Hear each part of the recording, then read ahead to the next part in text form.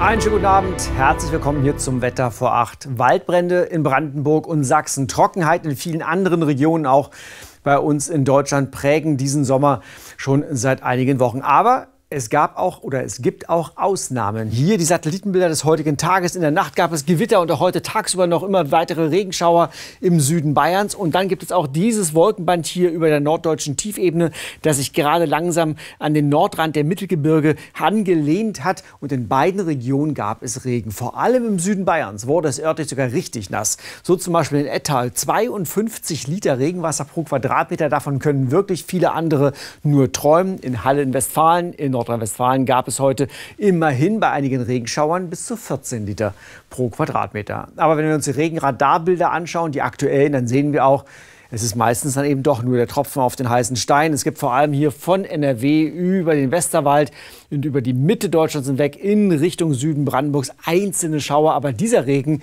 der bringt definitiv keine Linderung in den Waldbrandgebieten hier an der Grenze zwischen Brandenburg und Sachsen. Heute Nacht werden diese letzten Regenschauer, vor allem in der ersten Nachthälfte, sich langsam weiter in Richtung Süden voranarbeiten. Aber es ist, wie gesagt, nicht viel Regen, sonst bleibt es meistens trocken. Die Temperaturen gehen im Norden zurück auf 9 bis 13 Grad, in der Südhälfte auf 13 bis 16 Grad.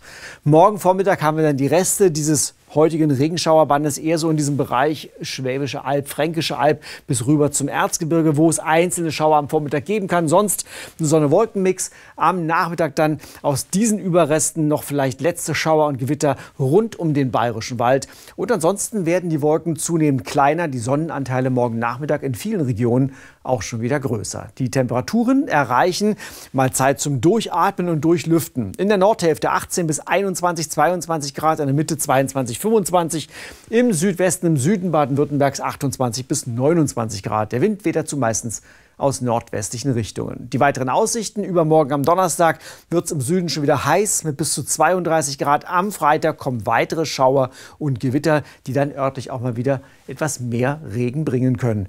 Das Ganze bei sommerlichen Temperaturen. Ich wünsche Ihnen noch einen schönen Abend.